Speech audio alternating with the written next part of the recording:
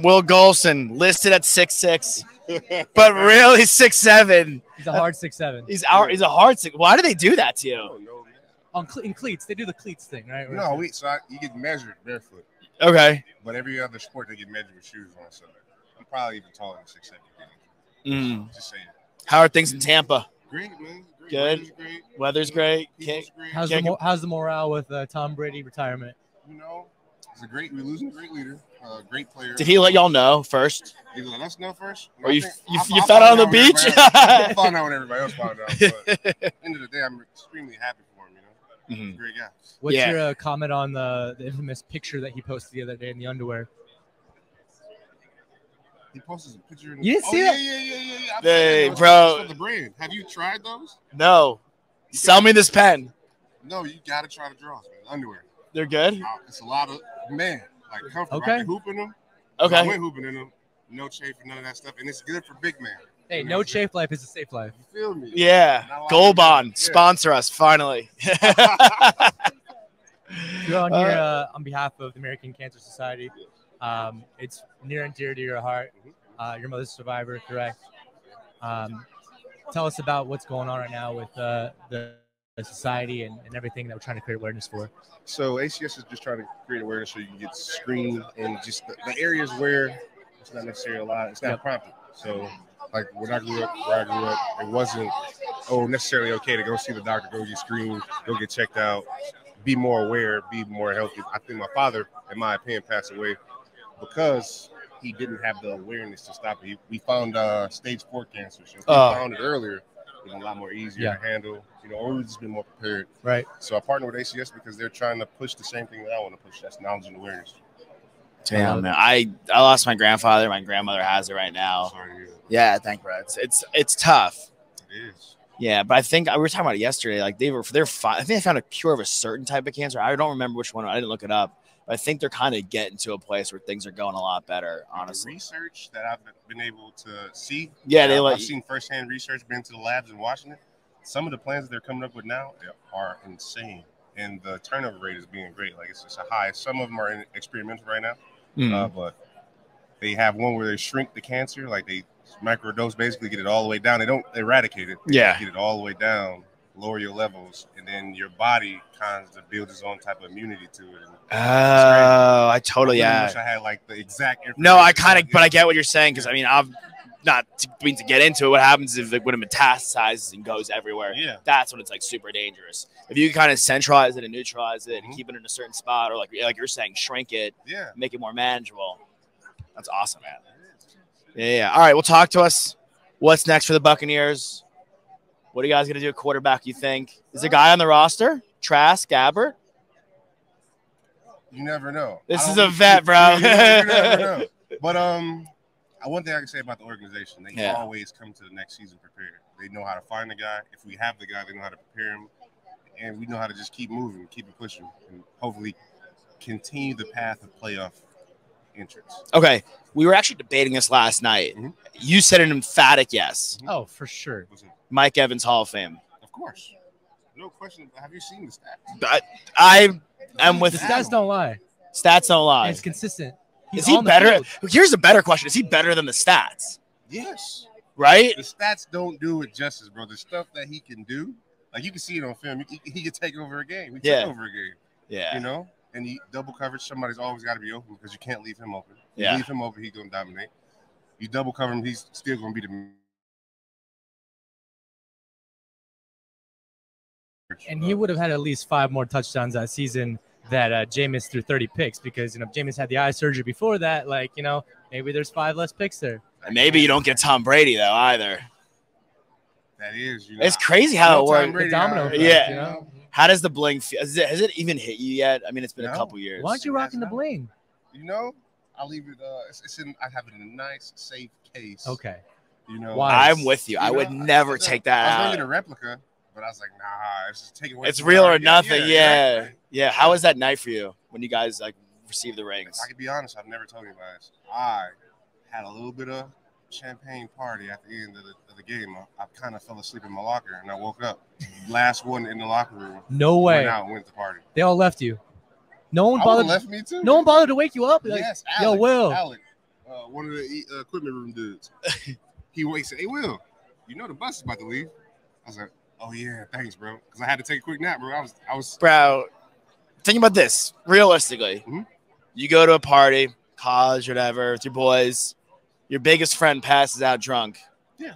You You leave wake him. You you leave him. Like I, I'm not getting this guy up. Like, Are you the biggest guy on the roster? yeah, no. Big Tristan Wirfs. Oh Big no, guy. never mind, bro. Yeah. That dude is massive. Big country. He's going to be a future How- Hall of Famer. How, I don't get how he fell to y'all.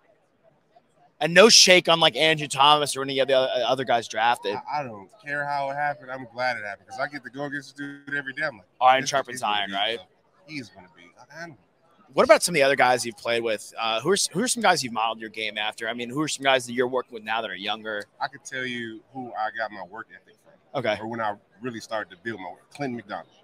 He's Okay. a vet. He won the Super Bowl with the Seahawks. Yeah, He yeah, yeah. us, and like I'm a young dude, you know, out doing stupid stuff, not understanding the professionalism of the game. I talked to Clinton. He was there for a few years, and he really showed me how to work. He showed me how to be a professional. Showed me how to walk, talk, all of the extra stuff outside of the game, like being able to have hold this interview with you guys, Yeah, be myself, but also be professional at the same time. totally. He's the one that showed me all that. Okay. That's awesome. I mean, honestly, it's how because you've been there how long? Ten. 10 years. Mhm. So you're one of the more veteran guys in the roster Yeah. as far as like 10 years been there. How is it with like there's a lot of changeover with the rosters the past couple years? How important is it to be like, kind of like maybe an ambassador to the team, like welcoming these guys in? for me, uh, like it's kind of what my role is. Yeah. As a, as a vet, being able to be a locker room guy. Yep. Uh, my message I try to overall deliver to each rookie is it's no longer college because I didn't. I had guys in the room, but I was like hundred percent competing to try to take their job as a younger dude, and they didn't have the same mindset I have. Like the, the guys that come in, you here to take my job. Once you take the job, your job is to keep the job. It's not to make it to the NFL; it's to make it in the NFL. Mm. And I try to pass that to every rookie, no matter he's my position or anybody else's position, because a lot of vets not going to tell you, "Hey, bro, your job is to come take my job. You, you got to work harder." Right. But the harder you work, the harder I have to work. Yeah. Which makes us a better. No, rookie. no one's gonna be real like that. Oh, I'm Realistically, real like that. You keep it are? Real. Why not?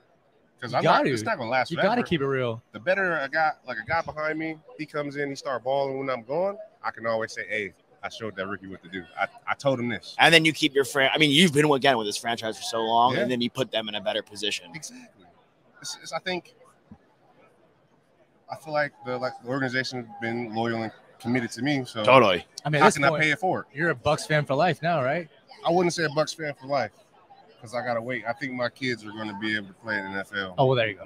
You know, I got three little boys. I feel you. Three. Yeah, and the youngest are is a my my, my three year old is bigger than my five year old, and my ten year old is up to I don't know. Is he five something? I think they told me he was five. He was. I was like, no, that's no way. So this is or this is the next Watt family coming coming for we coming to the league. We coming. I, I hope so. How did your uh, did your dad play at all? My dad didn't play. My cousin played. Okay. He was drafted uh, six overall pick. Vernon, go. Yeah. Oh yeah, OH. He he's a. Sorry, I know you're Michigan State. Sparty. As not. Uh, Michigan, yeah, you know, duh, thank you, bro. I think Go we're gonna agree. Yeah, Sparty party, bro. Where you from? What, what's We went to Texas. Where we went to Texas, but I grew up a Buckeye fan. That's what's up. Yeah, I was a Vince Young fan. Are we of the all? greatest. Are we all? Yeah, aren't we all? are VY, That's so yeah, that's what Mine happened. went too. It's all good. Yeah, dude. Honestly, Vernon was drafted by the Jets, right? 6 Mhm. overall. I remember Yeah. that. Oh, yeah, yeah. That's cool. How impactful was he to you? Not necessarily as impactful as I wanted, you know. But I can say this: one of the most motivational pieces pieces in my career. Really? Yeah, because I always had to not get caught in the shadows. You know what I'm saying? Because he was an Yeah. animal. He was Stud. an animal in college. That's one of the reasons I didn't He's want to six go overall, pick. Exactly. Yeah, yeah. He, he- he was a freak of nature. So, and he did teach me a lot. I remember um, as he was in the league, we did a camp together when I Hmm. was going to the league, and he dropped the gym on me. Okay. I can't tell it to you guys because What? it's a gym, but I hold it true and near to my heart for real. It's really been able something I could lean back on and push myself whenever I'm tired and all that stuff. Really? Why can't you tell us? It's his personal Yeah, motivation. man. you? I know, but I want to be motivated I now. don't know who's gonna watch this. What if they take it? You know what I'm saying? And Yeah. ah, try to use it against me. Try to use it against Yeah. you. All right. Who who's some of the favorite tackles you've got? or guards, centers, anybody on the offensive line you've gone against? I tell you, the toughest, Carl Nicks. Really? Carl Nicks. I don't know if you guys knew Carl Nicks was. Yeah. He went to Nebraska. Yeah. Humongous human being. First double team I ever got was Carl Nicks and Donald Penn. I'm a Ooh, rookie. Penn's a beast. Big boy. Massive, dude. Big. How'd the double team feel? I it was bad. man. Bad. Yeah, but don't, isn't there bad. like kind of like a feeling of like, oh damn, they're double teaming me. Like I'm nice. No, it was Never? practice. It was, it was practice. It was my first day of practice. I had no idea. I went from college to this. Yeah. So, uh, um, but I want to say, I enjoyed going against battling those dudes. Toughest running back I ever tackled was Marshawn Lynch, hands down. How big? How big is he? He's not even that big. He's just uh, solid. The dude. wrecking ball. Really? Solid. I, so I thought I had him dead to rights. We were there in Seattle. Yeah. I had a nice TFL. I'm like, yeah, rookie year TFL. Yeah. Marshawn. And I look down and I see my head bouncing in the little turf pebbles, and he running for like five yards. It's insane. How well, you play with Gronk? Yeah. How good of a blo- how good of a blocker is he? Everyone talks. About, we talk about blocking all the time, like a six offensive lineman, right? Yeah. Grunt is also a man, and he's one of the goof. Like he's, We know. We've He's seen him walking. around. serious. Yeah. but you know, he's smiling at you, snap the ball, and you see him like, dang, this dude is smiling smiling. and, and trying to block me at the same time. Come on, get serious. But no, That's he's funny. a he's a freaking nature, bro. I've been blessed to be able to play with so many Hall of Fame caliber people, Hell yeah, yeah. players. Amazing. Awesome.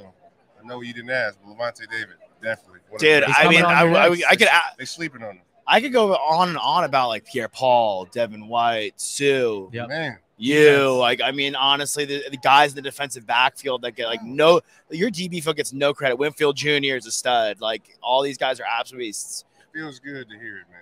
I, I didn't say it; they said it, but I had got to- you, bro. I gotta give Lavonte a shout out. bro. Yeah. He's a, He's the real deal. Two more questions for you. We asked this question to every single guest we've ever had on our show. What is your favorite sports memory ever? And this could be from you as a player or a fan, doesn't matter. Anything. Um, the Anything- Under Armour anything in life. All-American Skill Challenge. I won it when I was in high school. Okay. Yeah, I love that. that was Florida. That's Where pretty was that sick. Uh, it was in Tampa. It was Okay. in Tampa, Florida. It was all meant to be. It Full was all meant to circle, be. baby. Right? Full circle. Last question. We're asking everyone today this question. Mhm. Who's your crush in high school? The celebrity crush and just non And the real one. Who's the real one? Who's the real one? Give her one? a shout out. Oh man, boy, uh, ooh, wow. high school? Yeah. Oh, celebrity crush? Rihanna. No, both. Rihanna's Celebrity, my celebrity and then- and then- still to this day. Um, crush in high school. Man, nah, I don't want to give her no shine. She know who she is. but I never Initials. Give her initials. I'm not giving you no shine. You know exactly who you, You are. know who you are. If you know, you know. Will Gholston, thank you so much for joining. Pleasure, Oh, champ. Was fun. You. Good, man. I'm glad you had a good time, Thanks, brother. bro.